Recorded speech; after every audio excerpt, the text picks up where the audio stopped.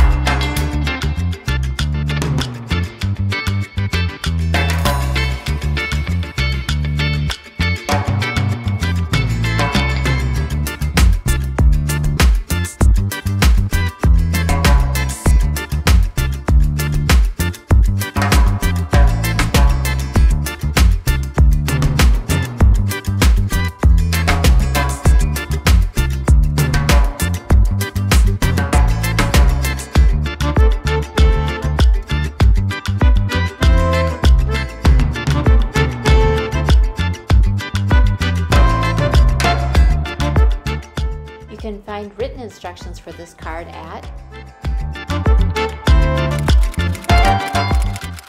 Please hit that subscribe button to be notified of more of my videos.